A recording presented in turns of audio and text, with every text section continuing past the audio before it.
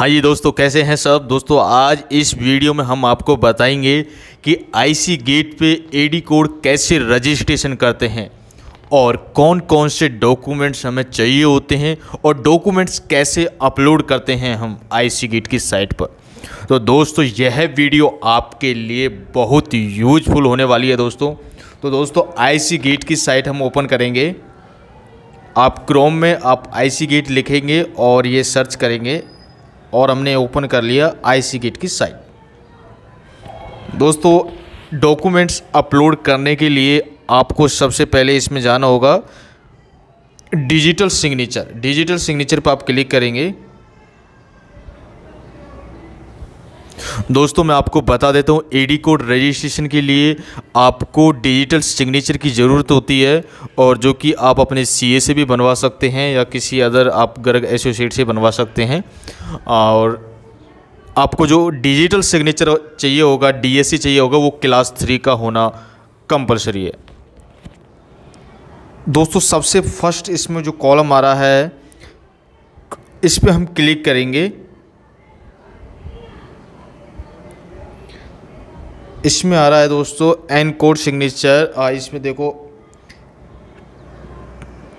Second number पे आ रहा है पीडीएफ फ़ाइल साइनिंग इस पे हम क्लिक करेंगे दोस्तों।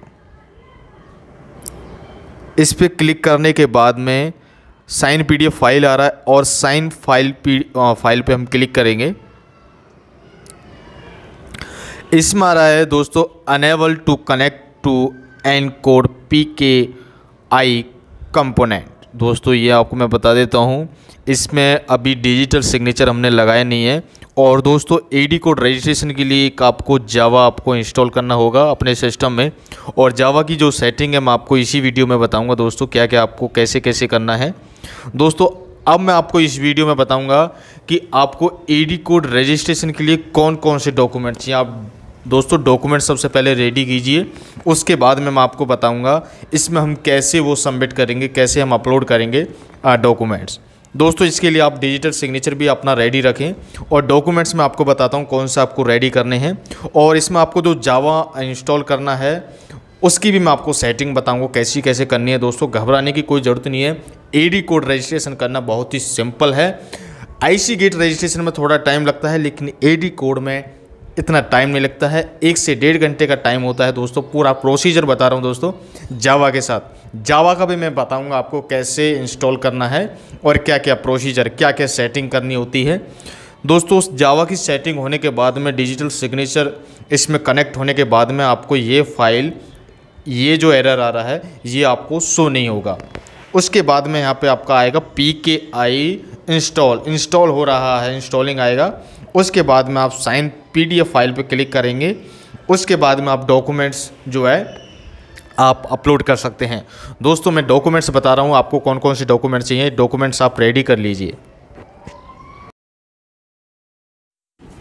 नमस्कार दोस्तों, इसमें आपको सबसे फ़र्स्ट नंबर पे आईसी की copy, import export, GST certificate और कम प्रोप्राइटर या डायरेक्टर का आधार कार्ड और उसके साथ पैन कार्ड और करंट अकाउंट का आपको कैंसल चेक और एड्रेस प्रूफ में आप आ, दिखा सकते हैं। आप अपना पैन कार्ड या इलेक्ट्रिसिटी बिल या अपना टेलीफोन बिल और इसके साथ में है मोबाइल नंबर। आप एक मोबाइल नंबर भी बताएँगे जो कि रजिस्ट्रेशन करना है उसमें और उसके साथ में आप अपनी कंपनी की मेल आईडी।